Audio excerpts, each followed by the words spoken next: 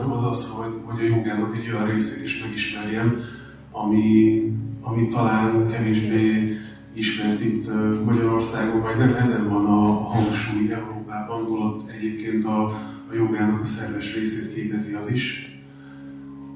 És uh, tulajdonképpen ez volt az egyik fő ok, amiatt először 2019-ben ott voltam, és 2020-ban is volt szerencsém ahhoz, hogy olyan helyekre eljussak, ahol a, a tradicionális jogával megismerkedhettem, vagy elmélyíthettem a tudásomat.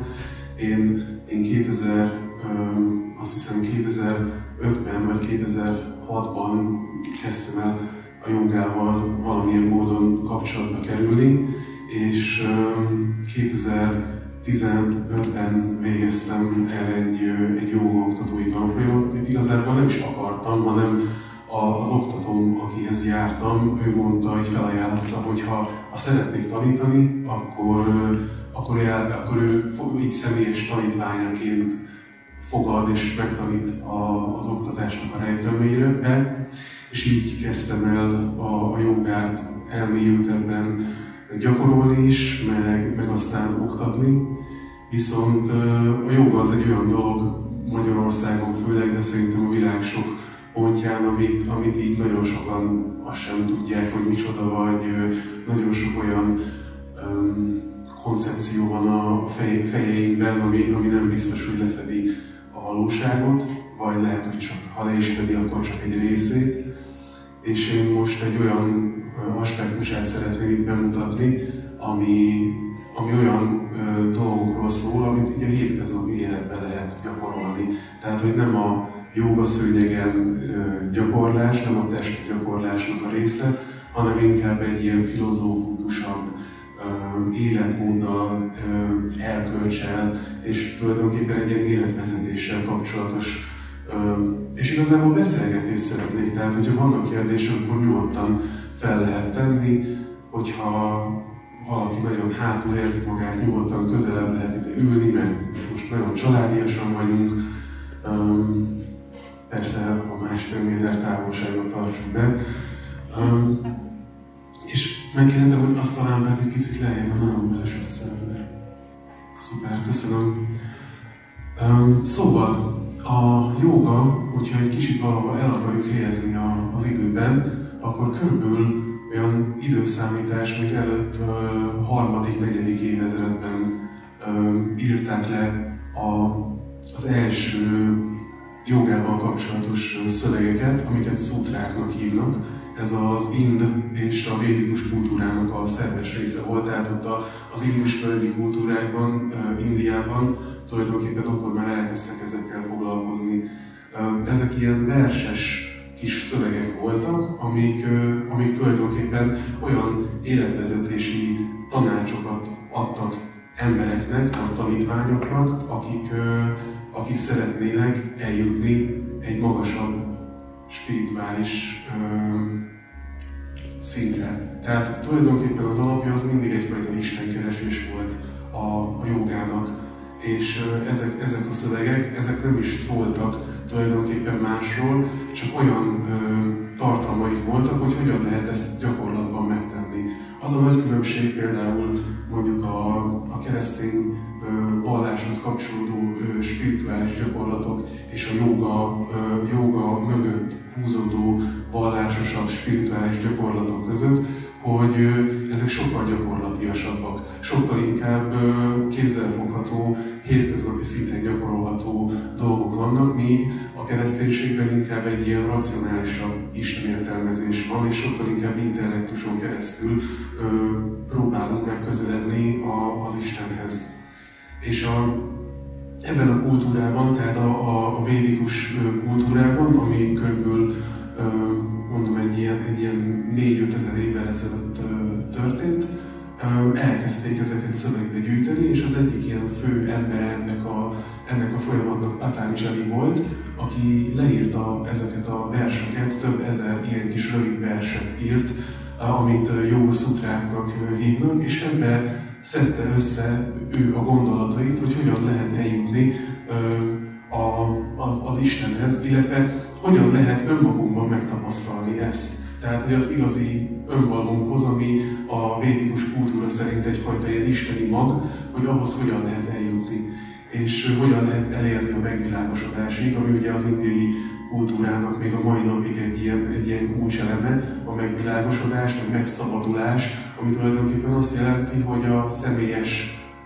egónkat, én tudatunkat levetkőzve megtapasztaljuk azt, hogy valami nagyobbnak a részei vagyunk. És ez ugyanúgy megtalálható a világ szinte összes vallásában, tehát ugyanerről beszélnek a keresztény misztikusok, ugyanerről beszél mondjuk Mustó Péter jezsuita szerzetes, amikor a, a kontemplatív ö, ö, imádságról beszél, vagy Jálics Ferenc atya, ö, de tulajdonképpen bármit említhetnék.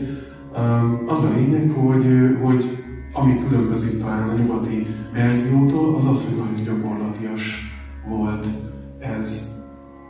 És ö, érdekes, hogy a védikus filozófiában is a, az első ilyen fő gondolat, amit ö, elmondanak, hogy hogyan keletkezett a világ, egyfajta ilyen teremtés történet, azt mondják, hogy kezdetben volt a hang.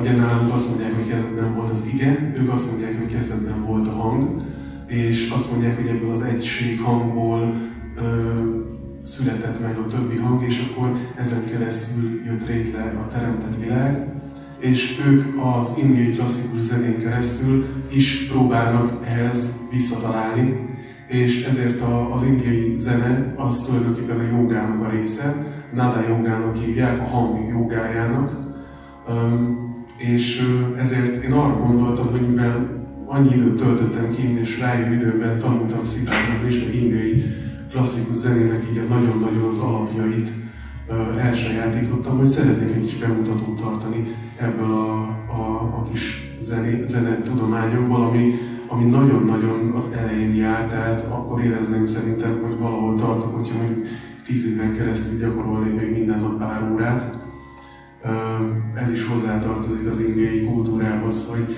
általában apáról fiúra száll mondjuk egy ilyen tudás, mint a, mint a zenélésnek a, a tudománya, és mondjuk a, a tanítványok azok ilyen három-négy éves korban elkezdik, és az én szitártanárom mondta, hogy amikor így járt um, zeneiskolába, tehát mondjuk az apjánál tanult, akkor ilyen napi 6-8 órát ült ott és gyakorolt egész nap tulajdonképpen, mint egy főállás ezt csinálják, és emiatt olyan tudásuk van mondjuk egy hangszeren, ami, amit így szerintem, hogy én itt fél órákat, meg órákat tudok a napomból rászállni, hogy gyakoroljak, ezt, ezt nem tudnám utolérni.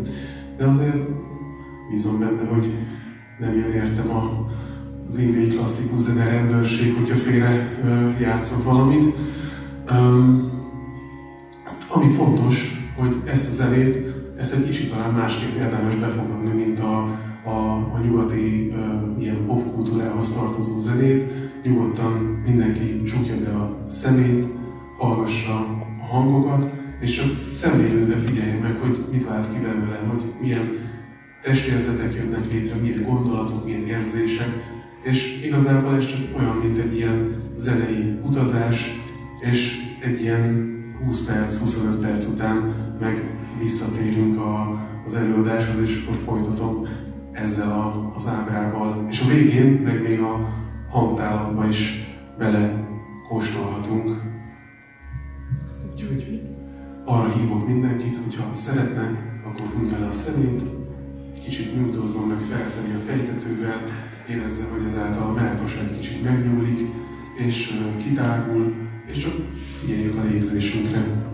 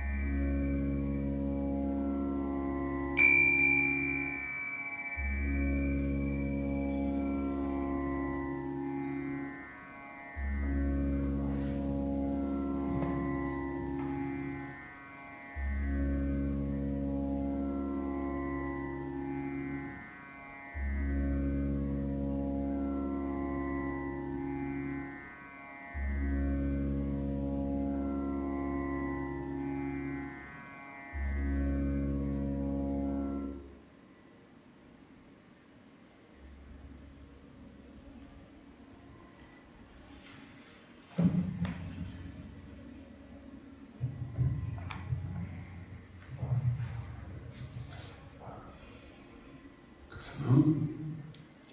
Ez volt egy ilyen kis rága, ami kompozíciót jelent. És az indiai zene az improvizatív, de nagyon sok szabály van azon belül, hogy hogyan lehet improvizálni. És minden évszaknak, minden napszaknak, meg egy csomó alkalomnak megvan a maga kompozíciója.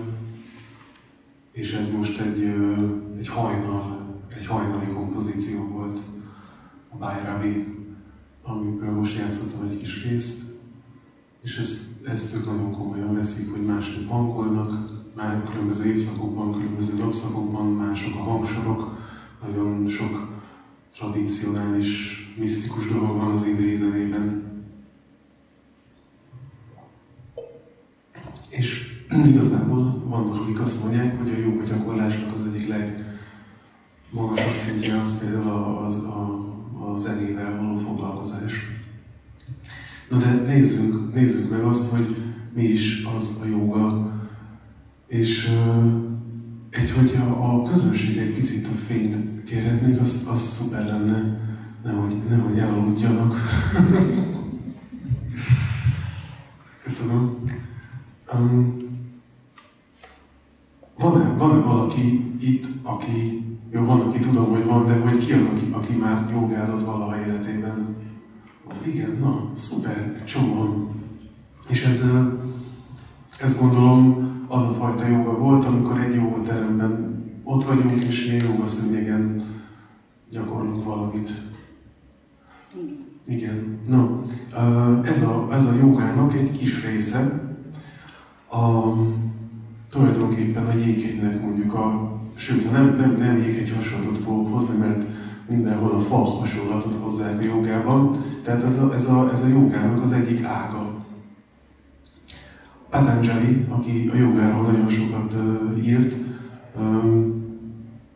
leírja azt, hogy nyolc ága van a jogának, ez a, ez a nyolc vagy nyolc végtagja tulajdonképpen a limbs, uh, ami, ami azt segíti elő, hogy tudjunk a spirituális utunkon fejlődni, haladni. És ez a nyolc lépcső, ez tulajdonképpen abból áll, hogy különböző olyan gyakorlatokat teszünk meg, amik, amik azt segítik elő, hogy az elménk lecsendesedjen. Tulajdonképpen ennyi a lényege a joga gyakorlásnak, semmi több. A egyetlen mondatban meg tudja fogalmazni Patanjali azt, hogy mi is a joga, mégpedig annyi, hogy a joga célja az elme viharainak a lecsendesítése. Ez pedig ugye azt jelenti, hogy a, az, az elménkben a gondolatok azok jönnek, mennek, cikáznak össze-vissza folyamatosan, néha észre sem veszük, hogy ki is az, aki gondolja, hanem csak egyszerűen ott van egy gondolat, és aztán továbbfűzzük, továbbfűzzük, és folyamatosan megy egyfajta párbeszéd, akár, vagy egyfajta gondolat áramlás a fejünkben, és az, azt hivatott a joga szolgálni, hogy ez minél kevésbé történjen meg, vagy ha megtörténik, akkor az legyen tudatos. Tehát, hogy ezek a, ezek a folyamatok, ezek, ezek tudatosan működjenek bennünk, és tudatosan történjenek. Um, és én azt hiszem, hogy nem is lesz többre idő, de abból a nyolc ágból az első kettőt ö, fogom egy kicsit kibontani.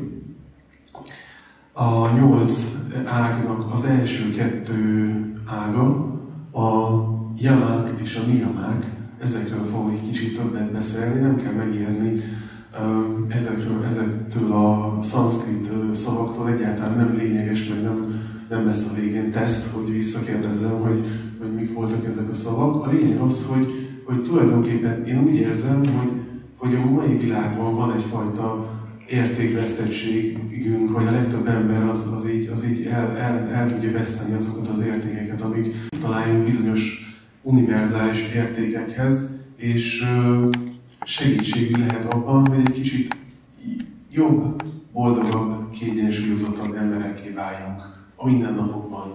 Tehát ehhez nem kell jogaszőnyeg, nem kell hozzá hajlékony test, nem kell hozzá különböző gyakorlat, különböző nehéz gyakorlatokat elvégezni, hanem igazából egyfajta szelid elhatározás kell és kitartás, hogy szeretnénk valamit elérni ezen az úton. Ami nagyon érdekes, hogy rengeteg párhuzam van a joga filozófiája, a buddhizmus, a kereszténység és a legtöbb vallásnak a szabályai között, holott a joga az nem egy vallási dolog, tehát a, ugyan kapcsolódik valamelyest az indiai kultúra miatt a, a hindu vagy a hind vallásokhoz, de nem, nem vallásos dolog, tehát nem a papok gyakorolják, nem templomokban gyakorolják, hanem úgy kell ezt elképzelni, hogy abban a kultúrkörben mindent átitatott a, a, az a hindu vallás, vagy azok a, annak az ős, ősei, a buddhizmus például, hogy az is a, végül is a hindu vallásból fejlődött ki. Gautama Buddha egy hindu herceg volt tulajdonképpen, és ő, ő szakította a korábbi hagyományokkal is kezdte el a buddhizmus. Na és a számok is, például ez a nyolc, nyolc ága a jogának, a buddhizmusban ott van a nyolc nemes ösvény, a kereszténységben is ott van a, a, a nyolc ágú csillag, például mondjuk a Máltai szeretett szolgálatnak a jel, az is ugye a nyolc ilyen erkölcsi minőséget jelöl meg. Tehát ez, ez a nyolcas szám, ez mindenhol ott van, és aztán a tízes szám is ott van mindenhol, mint mondjuk a tíz parancsolat, a buddhizmusban is, a Tórában is beszélnek róla, a, tehát az Ószövetségben is vannak ilyen szabályok.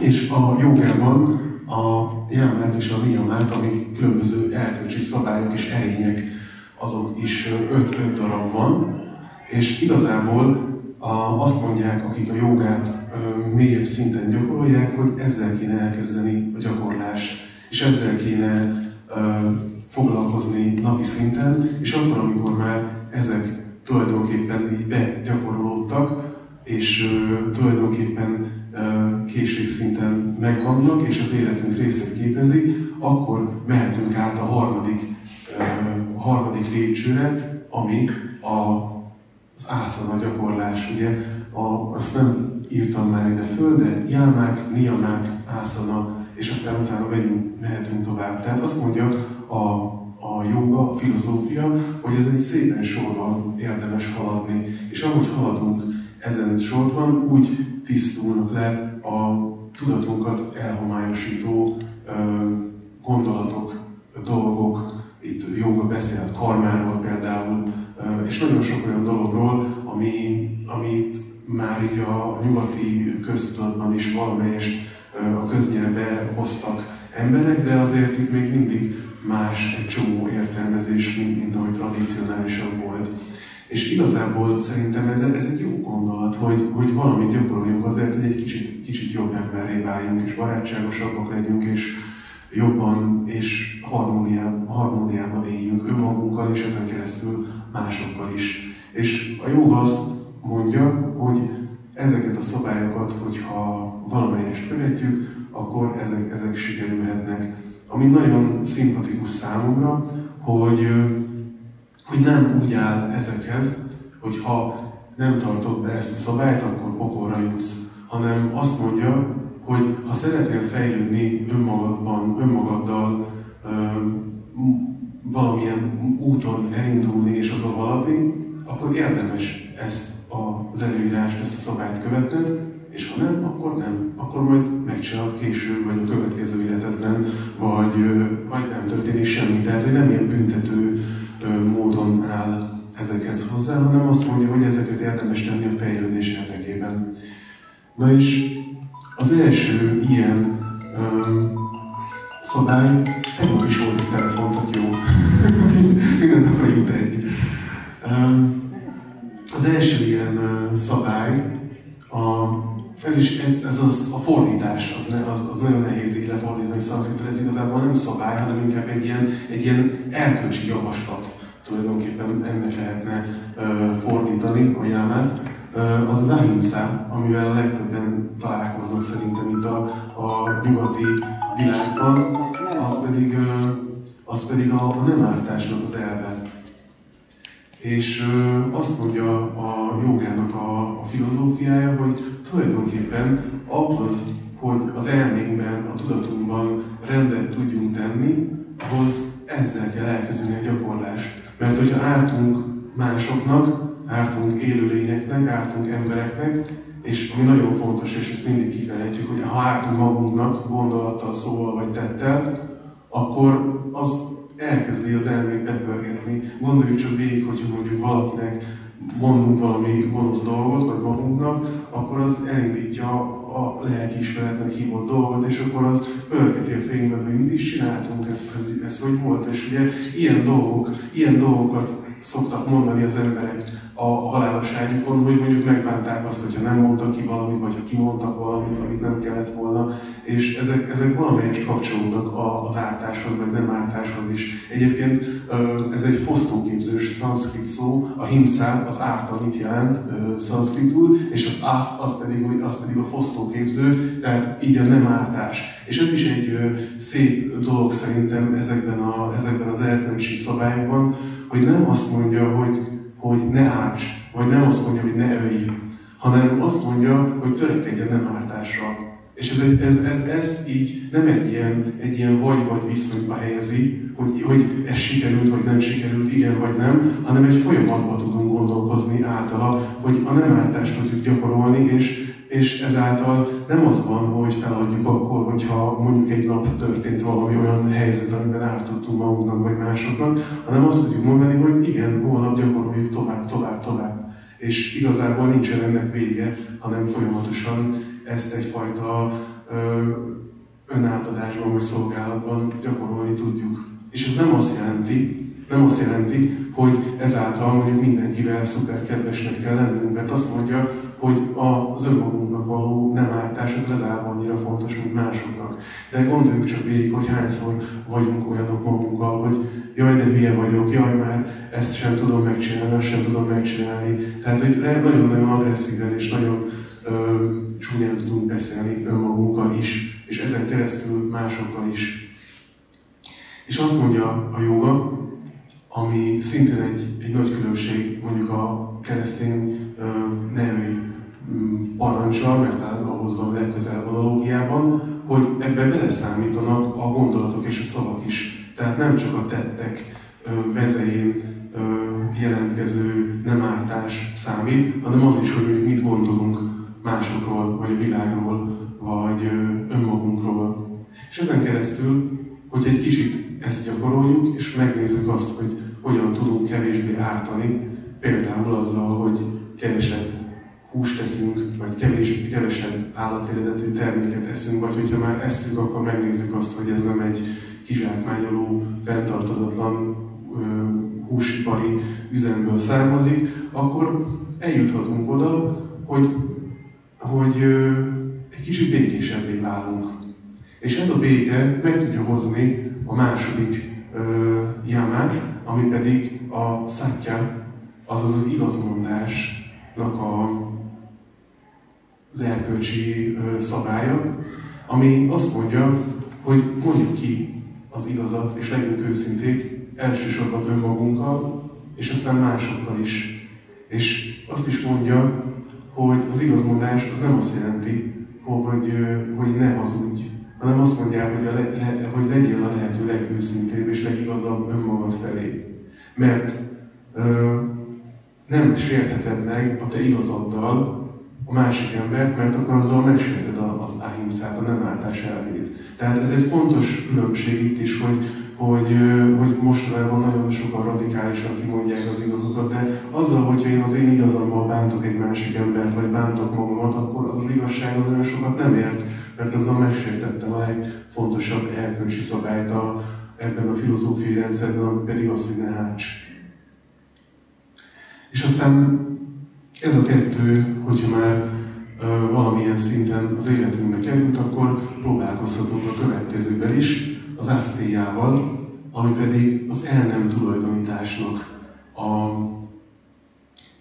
a szabálya, és ez is ugye direkt így van megfogalmazva, hogy nem azt mondja, hogy ne lopj, hanem azt mondja, hogy törekedj az el nem tulajdonításra, és ebben az is egy fontos dolog, hogy a ne lopjnál ott van az, hogy ahhoz, ahhoz valamit a külvilágból kell ellopnom, és akkor azt, azt, azt én elviszem magammal mondjuk haza. De az el nem tulajdonításban benne van az is, hogy ha mondjuk birtokunkban van egy tudás, vagy birtokunkban van egy információ, vagy valami olyan dolog, amiben segíthetünk mondjuk egy másik embernek, akkor azt nem sajátíthatjuk és nem tulajdoníthatjuk el saját magunknak, hanem azt tovább kell adnunk.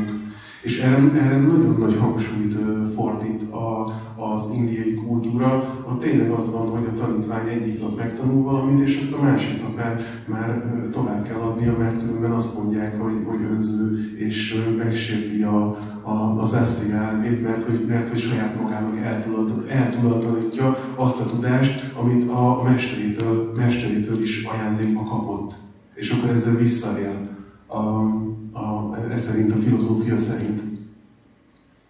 És ezt követi egy nagyon fontos dolog a brahmacharya, ami érzelmi tisztaságot jelent, és ide tartozik például a, a, a párkapcsolatokban való mozgolódásnak a, a, a része is, tehát hogy például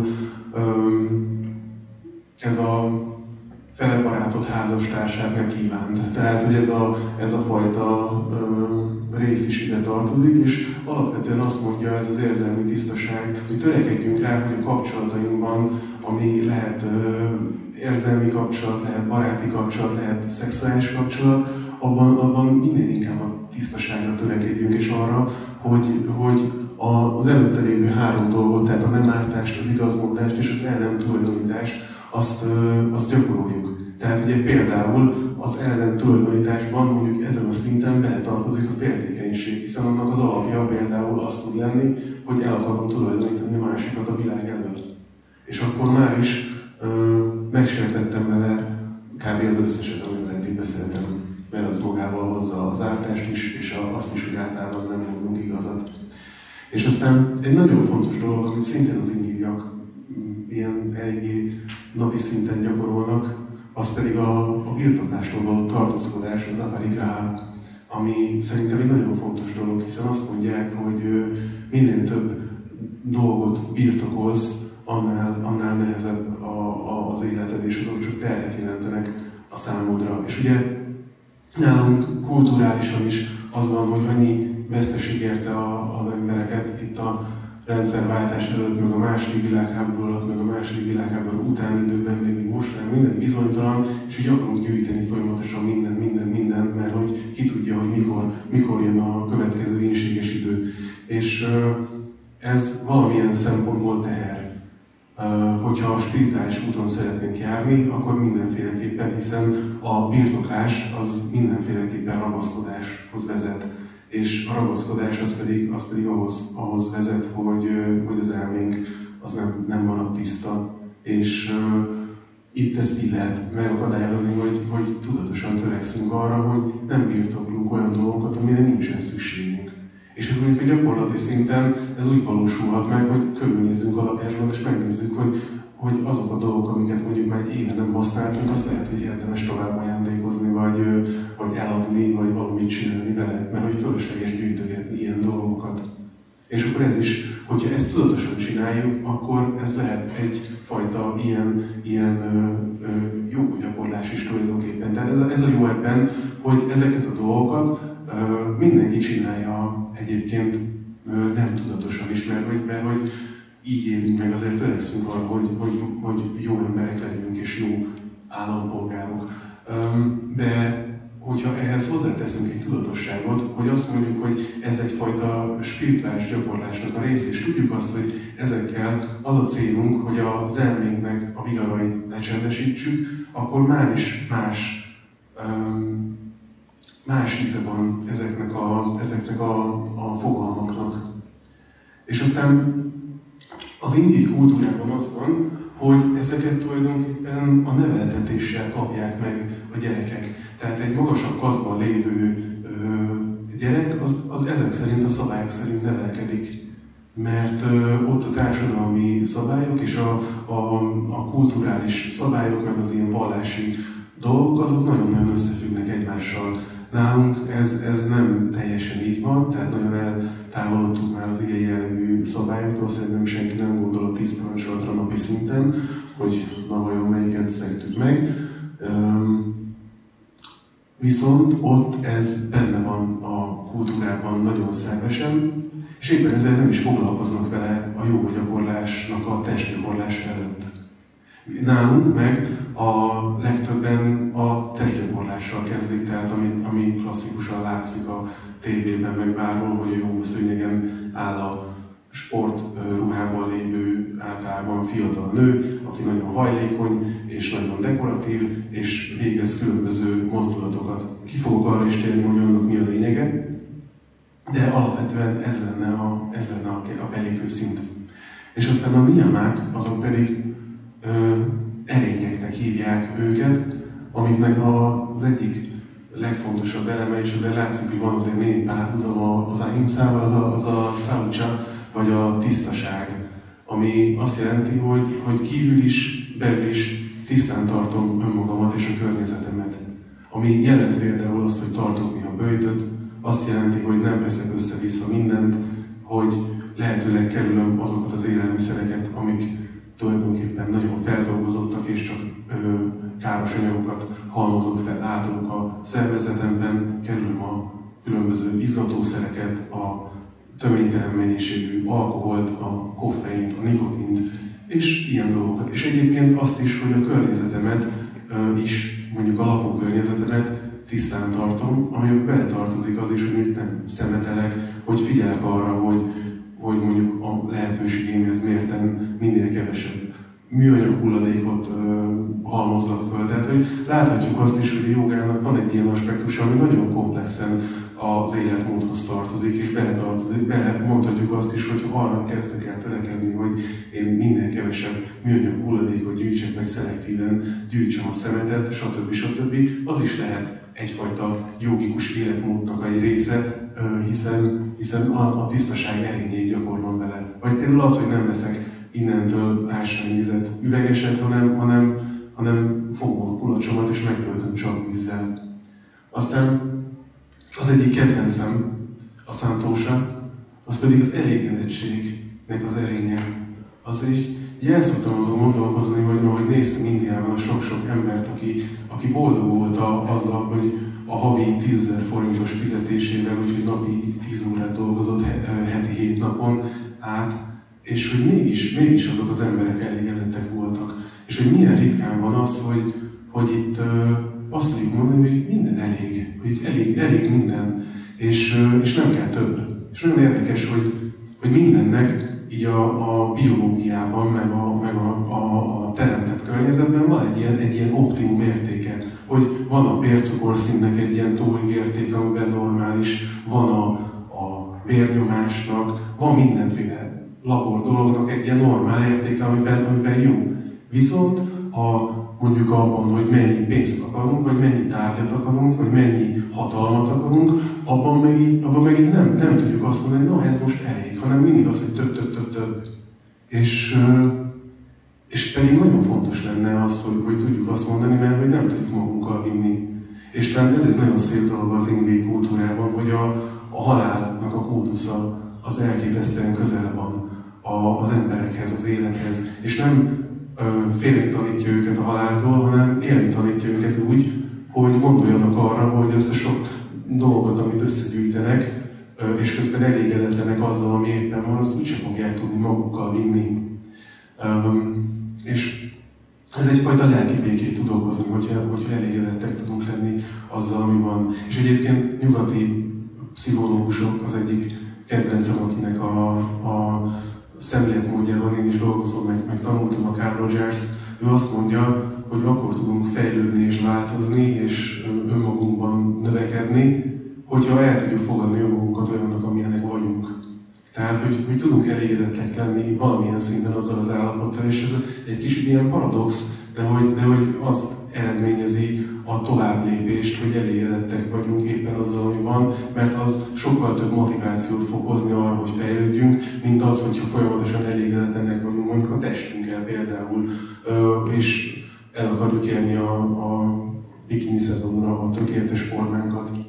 És aztán jön a tapas, a lemondás, ami mondjuk analóg a, bővítel, ami itt, itt nálunk a bővíti időszak, ugye most volt nem olyan régen a húsvéti bőt, azt mondja a joga filozófiai rendszere, hogy bármiből lehet csinálni lemond, lemondásos gyakorlatot, tehát tapaszt.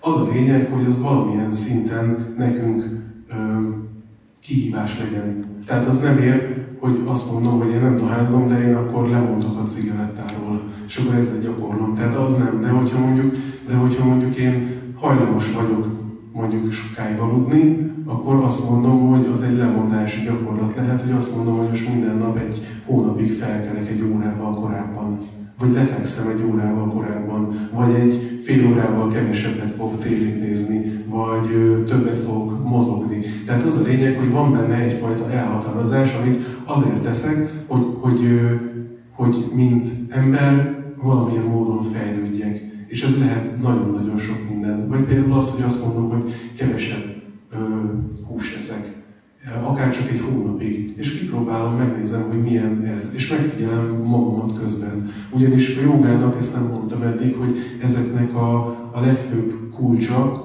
ezeknek a gondolatoknak, vagy elkölcsi szabályoknak, az az, hogy közben szemlélődve, önmagamat elfogadva figyelem, hogy mi történik. És nem mondja azt soha a joga, aki az a jogatanár, aki azt mondja, hogy ez így van, és ennek így kell lennie, és neked ezt és ezt kell érezned, az, az, az hazudik.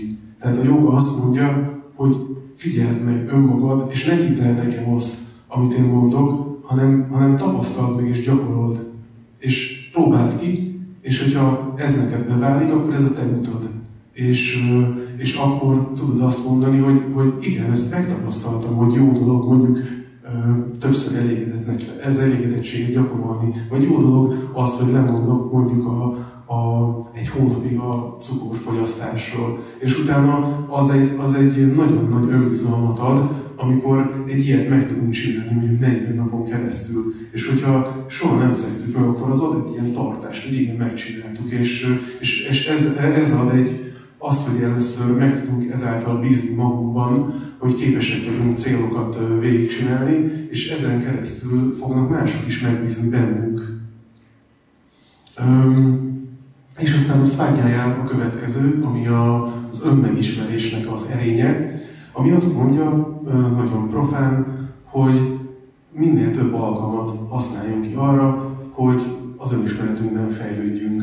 Ezt klasszikusan értelemben véve az indiaiak azt mondják, hogy szent szövegek tanulmányozása által, de ez tulajdonképpen a klasszikus önismeret. Tehát az, hogy most uh, itt vagyunk, és valamilyen módon erről beszélgetünk, és gazdagítjuk a tudásunkat, mert én is ezáltal gazdagodom nagyon sokat, mert, mert mindig bennem is egy egészen más aspektusa jön elő, ahogy, ahogy beszélek ezekről. Az az önmegismerésnek egy, egy gyakorlása.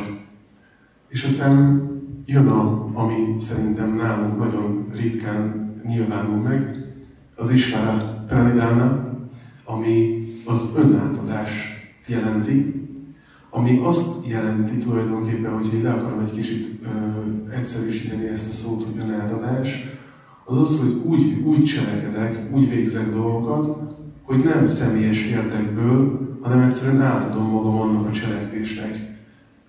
És ez legyen akár a munkám, legyen akár a kertészkedés, vagy legyen tulajdonképpen bármi. Tehát ez az, amit mostanában így divatosan beszélnek erről a flow élményről. Ez tulajdonképpen a flow élmény, hogy amikor önátadásban tudok valamit csinálni. És ezen keresztül születik meg a szolgálat, ezen az önátadáson keresztül, ami egy nagyon fontos része a, a jogának, hogy, hogy szolgáljunk valami nálunk nagyobbat. És egyébként um, azt hiszem szintén Carl Rogers mondta ezt, akire hivatkoztam az előbb, ez az amerikai pszichológus, aki a, a humanisztikus pszichológiának a, a megalapítója volt, hogy, hogy akkor tudunk igazán elégedett életet élni és beteljesülten elmenni a, az életből, hogyha azt érezzük, hogy valami olyan célért teszünk, ami önmagunkon túlmutat. És akkor érezzük azt, hogy valamit, valamit tudtunk rajzolni az időnek a homokjában, amit mások is még egy ideig láthatnak. És ez a, az önátadásnak a része.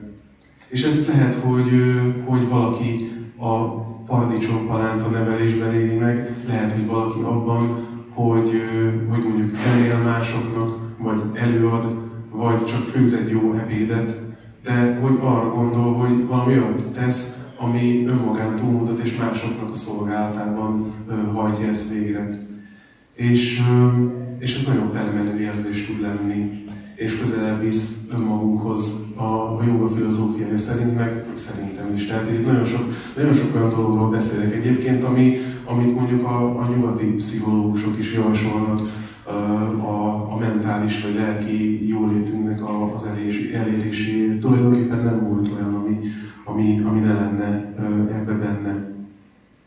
És aztán ugye ez volt, ez volt az első kettő ebből a nyolc lépcsőből, és maradt még hat, és a harmadik az pedig a, a, az ászona gyakorlás, amiről már itt szó volt, hogy ászonáknak hívják a pózokat tulajdonképpen a jogában. Egy ászona annyit jelent, hogy testtartás, és ezekre pedig azért van szükség Patanjali szerint, hogy később a kontemplatív imádkozáshoz és a meditációhoz egyenes gerincsel és mozdulatlanul tudjunk semmi más. És hogy, és, hogy az, és hogy a fizikai testünket a lehetőleg egészségesebben tudjuk tartani, és hogy ne ö, okozzon, a, ne, ne legyenek fizikai fájdalmaink, amik, amik, amik az elménkbe tartanak minket, hanem, hanem maradjon derűs az elménk, hiszen ezt mindenki megtapasztalta, hogyha mondjuk fája, nem tudom mi, a foga, vagy valami fájdalma van, akkor azért nem nagyon, nem nagyon tud másra gondolni, hanem kitölti az a fájdalom az elméjét.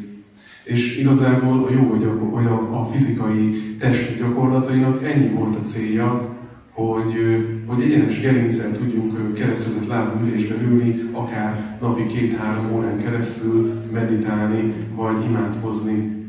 És azt javasolta Patanjali, hogy ehhez elég mondjuk naponta fél órát gyakorolni, ami lehet igazából egy, egy ilyen sorozatnak a, a, az elvégzése. Az is nagyon fontos, hogy az különbözteti meg a, a tornától a jogát, hogy, hogy, eb, hogy a, a test gyakorlatokban is megjelenik egyfajta szemlélődő üzemmód, ami azt jelenti, hogy lehetséges, hogy, hogy egy olyan mozdulatot végzek, amit, amit egyébként egy reggeli torna során is elvégeznék, tehát ilyen szempontból semmi különbség nincsen benne.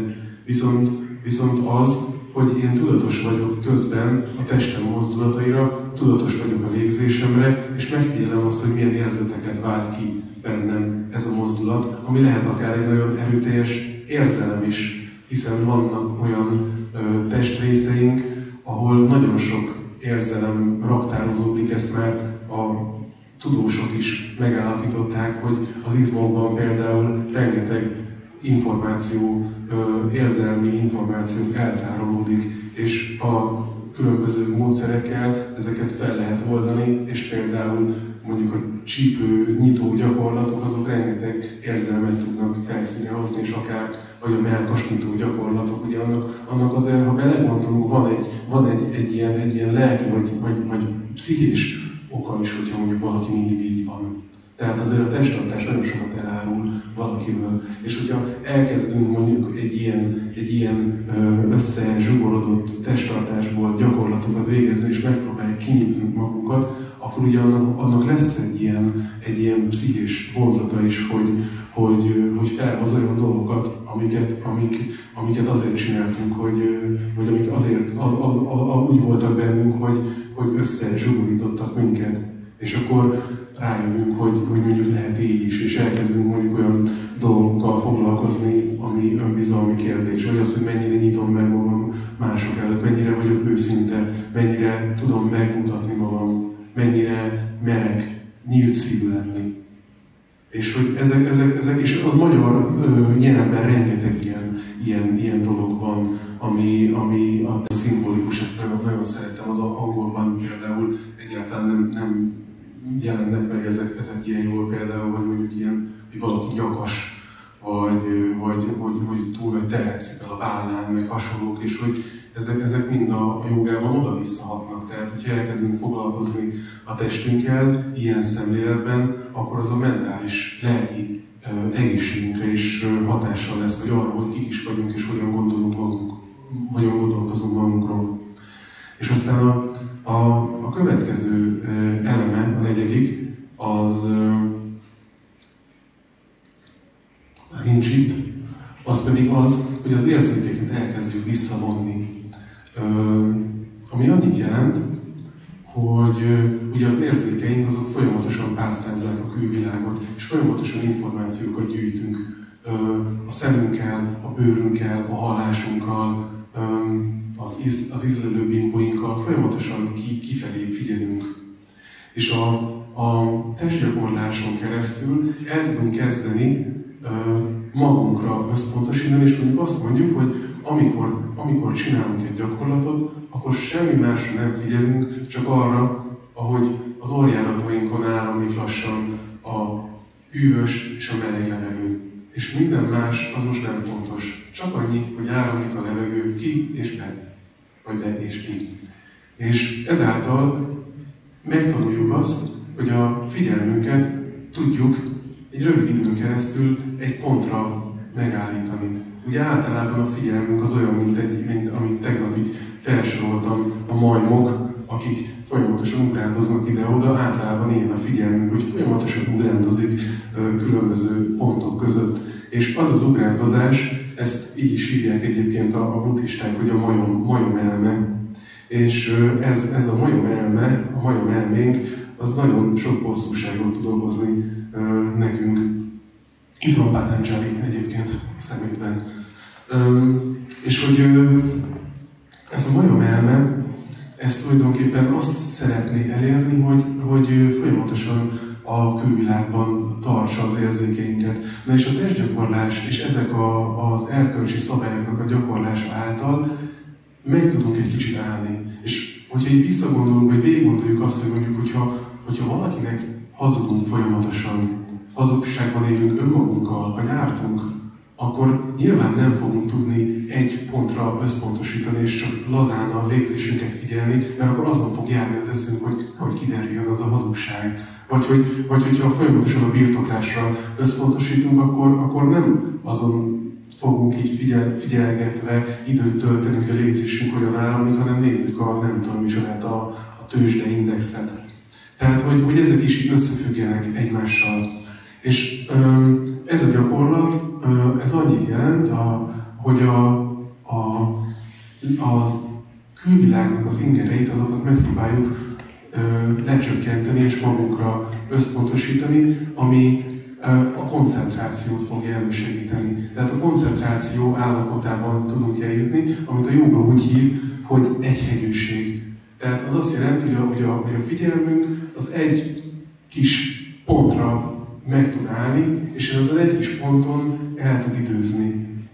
És ezen keresztül ö, létrejön egy, egy, ö, egy nagyon érdekes tudatállapot, amit mindenki megfigyelt már szerintem, hogyha valami olyan munkát végzett, amiben nagyon egy helyre összpontosított. És akkor az, az hoz egy olyan állapotot, amikor például azt sem veszük észre, hogy az idő hogyan múlik. Vagy teljesen megszűnik a külvilág, azt sem veszük észre, hogy éhesek leszünk, hogyha szomjasak leszünk, hanem, hanem csak benne vagyunk abban az egy pillanatban. Ezt hívják most divatosan mindfulnessnek, és eladják jó sok pénzért, a joga meg 5000 évre beszél róla, és bárki számára ingyenesen elérhető, és csak gyakorolni kell, és akár mosogatás közben is megvalósítható. Annyi lényeg, hogy, hogy, a, hogy a, a törekvés legyen meg rá. És aztán, viszont bocsánat. És aztán, amikor megvan ez a kis pontocskánk, amire már tudunk koncentrálni, akkor a következő lépés az az, hogy ezt el, el tudjuk kezdeni tánítani, ezt a pontot. És aztán meg tudjuk tenni azt egy idő után, ami van akinek mondjuk fél év, van akinek egy év, van akinek 30 év gyakorlás, ez attól függ, hogy mit hoztunk magunkkal, genetikailag milyen az idegrendszerünk állapota, stb. stb. Amikor ez a tudatosság, ez ki tud tágulni ilyen hétköznapi szintre, és ez a fajta középpontban levés, ez minden cselekedetünkben ott lesz. És ez a meditációnak az állapota. Tehát a meditáció az egy tudatállapot, amit nem lehet elérni, nem lehet gyakorolni, nem az van, hogy leülünk meditálni, és akkor na most 20 percet meditáltam, és ez milyen jó, hanem meditációra felkészítő gyakorlatokat lehet csinálni, és egy meditációra felkészítő gyakorlat például az, ami divatosan van, hogy mondjuk üljünk le, és akkor tegyük így össze a kezünket, vagy valamit csináljunk, és akkor figyeljünk a légzésünkre, hunyjuk a szemünket, és csak hagyjuk lélegezni a testet. Ez egy meditációra felkészítő gyakorlat, de az viszont már majd, hogy nem azt lehet mondani, hogy egy ilyen kegyelmi állapot, hogy a meditációnak a tudatállapota az, az megtörténik-e. Mert hogy ez egyszer csak megtörténik azon keresztül, hogy gyakoroljuk hosszú, akár hosszú éveken keresztül ezeket a dolgokat.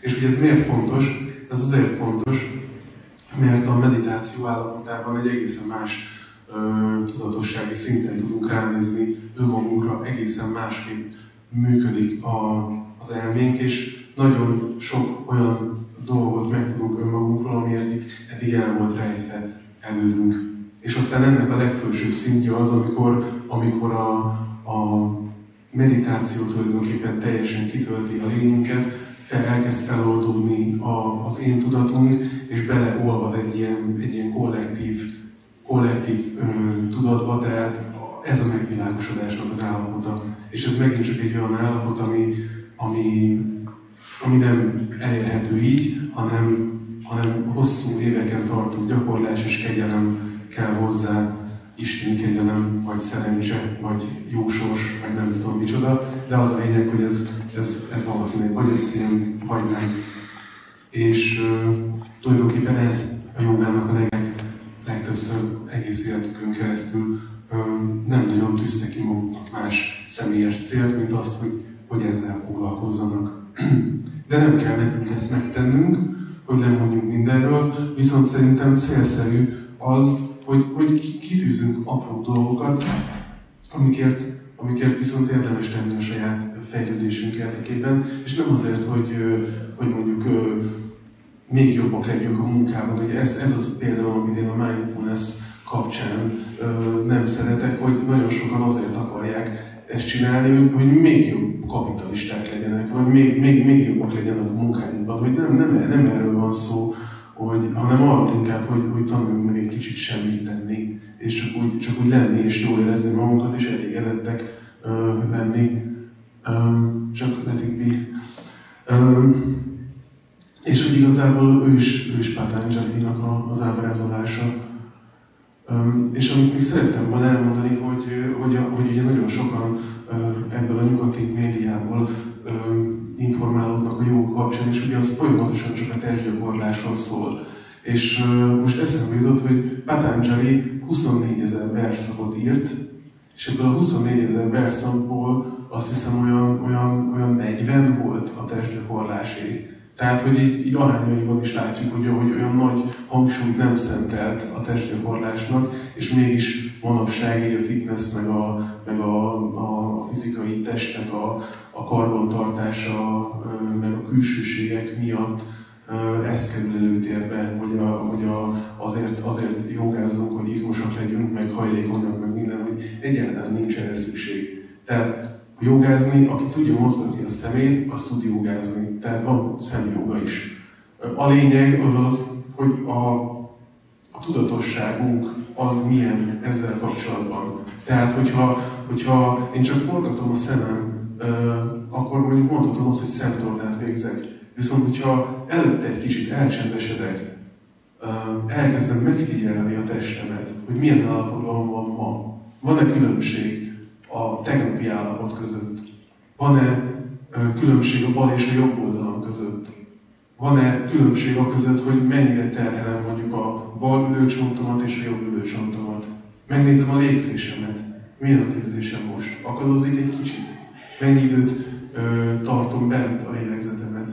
Van-e közben valami feszülés valahol? Csak elhagyom-e áramolni, vagy van-e benne valami, valami tudatosság és akarattal csinálom? Vagy pedig meg tudom tenni azt, hogy csak hagyom, ahogy a légzésem áramlik a saját ritmusában. És hogyha ezt így megfigyelem, és ezen keresztül kezdem el a, mondjuk az, a, a szememet az óra mutató járásával megegyező irányban így végig forgatni, és megállok minden óránál, és megfigyelem azt, hogy ez milyen hatással van a szemizmokra, és milyen érzés ez az agyban általában, mint hátul kezdünk el érezni valamit a kisagynál, hogyha a szemünket nagyon erőteljesen mozgatjuk, akkor ez már is egyfajta joga gyakorlás. És ezen keresztül tudunk tanulni magunkról. És ami nagyon fontos az az, hogy ezen keresztül meg tudjuk azt tanulni, hogy a testérzeteink és ezen keresztül az érzéseink, azok nem mi vagyunk, hanem azok úgy jönnek, mennek. Mert hogy jó gyakorlás közben is jön meg egy csomó érzés. És akkor, hogyha mi koncentrálunk arra a mozdulatra, amit csinálunk, vagy a légzésünkre, akkor csak úgy látjuk, hogy itt jön egy, jön egy harag és elmegy. Vagy jön egy dű, följön egy gyász, és aztán a gyásznak az érzés, és aztán tovább megy. És ez megtanít egy kicsit arra, hogy nem vagyunk azonosak ezekkel az érzésekkel, mert nagyon sok problémám származik abból, hogy amikor, amikor ö, valakinek mondjuk összeveszünk, akkor, akkor azt mondjuk, hogy annyira dühös vagyok, hogy meg tudnám folytani ezt az embert. És ugye azt mondjuk, hogy dühös vagyok. És nem azt mondjuk, hogy érzek dühöt, hanem azt, hogy dühös vagyok. Tehát, hogy, hogy azonosulok teljesen azzal az érzéssel, és hogyha valamivel azonosulok annyira, hogy teljesen elönti a személyemet, az elmémet, akkor nyilván nem tudok vele valamit csinálni. De hogyha azt mondom, hogy érzek magamban dühöt, hol is van ez a düh? Valahol itt, itt, itt a gyomorszájadnál, és hogy így, és hogy így meg tudom figyelni. És a joga gyakorlás során ö, vannak olyan praktikák, vagy technikák, amikkel ezt lehet így, így megszemélyesíteni. Hogy néz ki? Milyen ez a dű? Mekkora? Akkora, mint egy teniszlabda, vagy akkora, mint egy focilabda? Milyen a külseje? Sima a felszín ennek a dűnek, amit érzek, vagy ilyen recés? És hogyha már, hogy ezzel így elkezdek játszani, már elkezd megszűnni az, hogy ebből a dűből reagáljak. Hanem, hanem meg tudom figyelni, hogy van, erre, van ennek értelme, hogy ebből a dűből reagáljak. És ez egy kicsit békésebbé tud tenni minket, és meg tudjuk teremteni azt, hogy, hogy nem ártással élünk a világban. És ö, azt hiszem, hogy ennyit szerettem volna elmondani, és igazából ez a legfontosabb a jogában, hogy, hogy hogy önmagunkkal tudunk valamit kezdeni, fejlődni, de nem önmagunkért, hanem azért, hogy a világ és más emberek számára legyünk jobbak. És ugye azt mondja Buddha is, hogy három dolog kell ahhoz, hogy fejlődjünk. Az egyik az, az a tulajdonképpen a törvény, tehát a, a, a, az univerzumnak a szabályai, amik, amik segítenek a fejlődésben. A másik a, a tudás, amit megkapunk, és a harmadik pedig a közösség, amiben ezt, amiben ezt közösen tudjuk gyakorolni. És a jogában az egy nagyon jó dolog, hogy ezeket a közösségeket általában formálja, és közösségek jönnek létre, ahol nem furcsa például az, hogy nem aztéval köszöntjük egymást, vagy az, hogy elzengünk három óm mantrát azért, hogy egy kicsit lecsendesítsük az elménket. És Szerintem ez nagyon hiányzik a mai világból a, a, a közösség, mert nagyon izolálódva vagyunk, hát főleg így a vírus miatt is, meg aztán különösen. Um, és még van negyed óra, és arra gondoltam, hogy a jogának egy uh, szintén hanggal kapcsolatos uh, uh, aspektusával zárnám ezt a mai napot, amit egy jogikus relaxációval, ami ezekkel a hangtálakkal, hangtálak segítségével történne, és ez meg egy kis utazás lenne mindenkinek, aki, aki erre nyitott, hogy egy kicsit megtapasztalja azt, hogy milyen az, amikor ezek a hangok átrezgetik a, a testünket. Ugye ez már köztudott, hogy a testünknek egy jelentős része víz, és ezek a víz részecskék, bennünk lévő, sejtekben lévő víz, az tud rezonálni ezekkel a rezgésekkel, amiket, amiben ugye a hang az rezgés, és azáltal, hogy ezek a frekvenciák elkezdenek dolgozni bennünk, pozitív élettani hatásokat váltanak ki, és megnyugtatólag hatnak az idegrendszerünkre. Úgyhogy a kérdések után, mert arra gondoltam, hogy még ha lehet, ha, ha szeretne valaki kérdezni, akkor nyugodtan, és akkor utána egy kicsit elcsendesednénk, és még utána is persze lehet majd kérdezni, de akkor már az egy ilyen mm, időráhúzás lenne, és nem tudom, az mennyire szabad. Úgyhogy köszönöm, és ha van valakinek kérdés, akkor nyugodtan tegye fel bármiről. Nem tudom, hogy tudok erre válaszolni, de megpróbálok.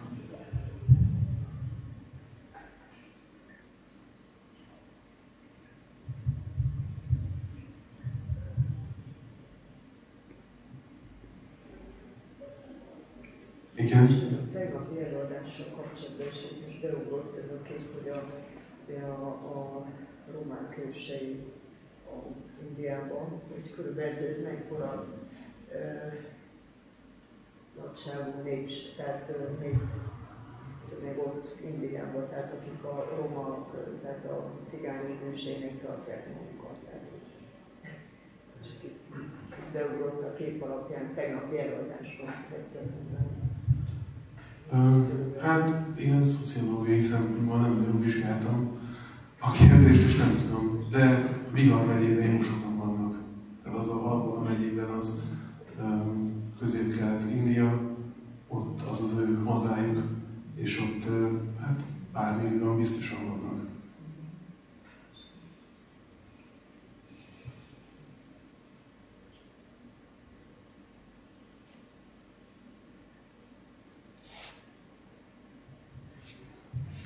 Igen, köszönöm. Azt szeretném kérdezni, hogy mennyi időt töltöttek Indiában? 2019-ben picit több mint egy hónapot, és 2020-ban meg picit több mint fél évet. és végig itt voltam Risikes környékén, tehát hogy első alkalommal még csak azt akartam felderíteni, aztán második alkalommal ugye a lezárások miatt nem volt lehetőségem nagyon utazgatni, hanem csak itt a környéken. És akkor tervezed is, hogy visszamész majd? Uh, igen, hogyha majd egy kicsit lecseng ez a, ez a vírus dolog, főleg Indiában is, ami ott, ott azért elég uh, nagy méreteket ölt most, bár még mindig csak fel annyira halnak meg arányaiban, mint Magyarországon a vírusban. Uh, csak ugye a nagy számok miatt olyan rettentően hangzik az, hogy mennyi megbetegedés, meg mennyi halálozás van, de hogyha egy millió lakosra levetítjük, akkor, akkor nem annyira vészes. De szeretnék visszamenni, igen, mert nagyon, nagyon otthon érzem magam ott. Még két kérdésem van. Az egyik az, hogy a Namaste-nak mi a jelentése? Hm. Köszönöm, ez egy nagyon jó kérdés. A Namaste az azt jelenti, hogy üdvözlöm benned azt az isteni részt, ami benned és bennem is ugyanaz. És ennyit jelent tulajdonképpen, mert a, ami, ami nagyon nagy különbség a, a keleti és a nyugati vallások között, hogy a, a nyugati vallások, tehát az a zsidó-keresztény kultúrkör azt mondja, hogy az Isten az valahol tőlünk kívül van. Tehát ez még nagyon sokáig is egy ilyen antropozófiai megközelítés volt, hogy, hogy az Isten az mondjuk egy ilyen szakállas ember, aki ült a felhőkön, és akkor ő valamit csinál velünk, mint hogyha valami, valami szent apa, atya, tehát az atya Míg Indiában, meg, meg a legtöbb ázsiai országban és az ázsiai vallásokban azt mondják, hogy, a, hogy, az, hogy az Isten az, az minden, ami, ami minket körülvesz, tehát az Isten tulajdonképpen az, az, az egész univerzum, amiben benne vagyunk, és hogy, és hogy mi tulajdonképpen a részei vagyunk, és hogy van bennünk egy mag, egy isteni mag, amihez vissza kéne találnunk. És ez igazából az életünknek a feladata, hogy megtaláljuk ezt magunkban. És és ez egy, ez egy nagyon nagy különbség. És én emiatt szeretem e- ezt, mert hogy, mert hogy ami hozzám közel áll a kereszténységben is, az, az például a jezsuitáknak a, a, a kontemplatív imája, és ez a szemlélődő ima módja, ami tulajdonképpen ugyanaz, mint, mint a, mondjuk a buddhista meditáció, vagy a, vagy a, jogában a, a meditáció. És amikor én hallottam Máté Szeretett Szolgálatnál dolgoztam két évig, és ott ö, többször jártak jezsuita szerzetesek, például találkoztam a Busnó Péterrel is, aki ennek a, a kontemplatív imának az egyik ilyen, ilyen legismertebb személye, és az ő, a Busnó Péternek a, a, a, a kollégája volt Argentinában, a Jális Ferenc atya, aki ugye meg a, a, a pápának, a mostani pápának volt a nyomtató atyája mert ott voltak együtt Argentinában, és együtt voltak ugye a, ilyen, ebben a fogságban, amikor elrabolták őket a, azok a gerillák vagy kicsodák, és erről beszélt Mustó Péter sokat, és igazából amikor egy, egy ilyen embert hallok beszélni, akkor az kell, hogy pont ugyanolyan, mint amikor mondjuk egy buddhista szerzetes hallok beszélni, vagy egy jogi. Tehát, hogy, hogy ezen a szinten nincs már semmi különbség igazából sem az csak itt egy ilyen lentebbi szinten vannak ezek a megosztottságok, és mégis képesek sokan emiatt uh, harcolni, hogy kinek az Istene jobb. Um, mondtad, hogy van még kérdés. Igen, azt jutott még eszembe, hogy magamat is figyelni, hogy az embernek a, a gondolatai mindig vagy a múlt, vagy a jövő. Tehát nagyon sokszor van az, hogy nem a jelenbe élünk, hanem mindig a mit rontottunk el, volt, ami miatt ide került hogy ez a, ez a majom elme, hogy állandóan úgy, tehát a jelenben nagyon ritkán van, hogy az ember így tényleg így magával tud foglalkozni, mindig az, hogy valahova rohanunk, vagy valahonnan. Ez az ember légy csodája. Erre egyedül az ember képes. Tehát a legjobb tudomásunk szerint az időnek a fogalmát azt, azt csak az ember elme alkotta meg, és ezzel, ezzel jól megszivattuk magunkat.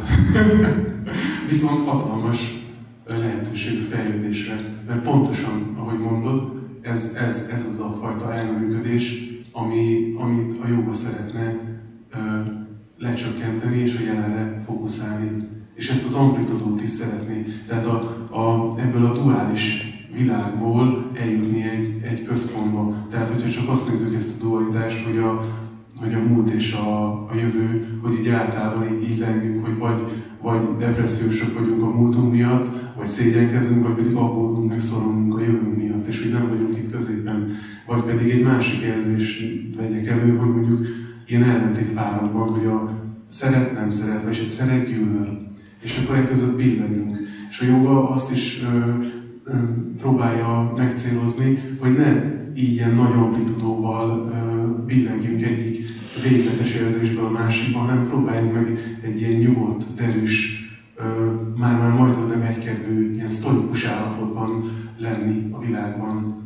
De, de igen, a, ez szerintem és, és a joga gyakorlásnak egy nagyon, nagyon csodálatos mellékterméke az, hogy, hogy minél több percet tudunk eltölteni a, a jelen pillanatban. És ezek valahogy jönnek. De én azért szeretem a jogát, mert hogy ez egy, ez egy gyakorlati pszichológiai rendszer igazából ki lett találva, nagyon profin, és hogy nem kell így külön azon gondolkozni, hogy na most én hogyan leszek a jelenben, mert csak gyakorlunk, és akkor előbb-utóbb megtapasztaljuk azt, hogy, hogy és akkor veszük általában észre, amikor kibillenünk, vagy amikor nem gyakorlunk. Tehát mondjuk elkezdünk gyakorolni csak mondjuk fél órát naponta, és mondjuk ezt képesek vagyunk két hónapig fenntartani, és minden nap csináljuk. És akkor valami jön, ami mondjuk kimarad egy hét vagy kettő. Na és akkor lehet észrevenni, hogy jé, mennyi, mennyit változtunk ezáltal, és mennyivel mondjuk több, többet voltunk a jelenben.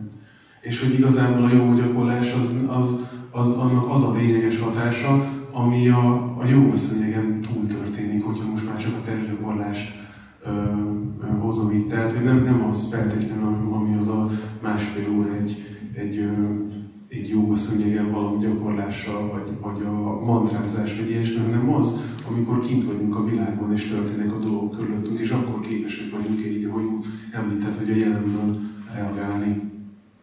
Ami ugye azért fontos, mert hogy, mert hogy az emberi kapcsolatainkban is az van, hogy, hogy, hogy mondjuk a múltban megalkotott koncepciók alapján reagálunk egy emberre, és általában nem, nem az alapján, ahogy éppen ott van velünk hanem, hanem, hanem megalkotott konstrukciók alapján, és a joga próbálja ezeket leépíteni. Köszönöm. Még egy egy dolog eszembe jutott erről az időről, hogy mondtad, hogy olvastam el, és hogy valójában minden a múlt, jelen, jövő együtt történik, csak az agyuk ilyen lineáris, hogy így vannak össze, hogy erről még vannak. Hát ez már kvantumfizika. Lehetséges egyébként. Nekem is vannak ilyen elmordult pillanatok, hogy gondolkozom, hogy lehet, hogy minden, minden ebben a pillanatban történik, és az egész csak így a Matrixnak a, a kivetülése, de, de, hogy, de hogy igen, ezt, ezt nem tudhatjuk meg. Minden esetre, ami biztos, hogy, hogy ahogy az egyik legnagyobb ilyen a 20. században élő jogamester Patabi Joyce mondta, Gyakoroljunk, gyakoroljunk, gyakoroljunk, és a többi jön magától. Köszönöm, Köszönöm szépen. Én szeretnék. Igen. Elérted már a megvilágosodás? Én? Hát fogos esküdben naponta kétszer elérem.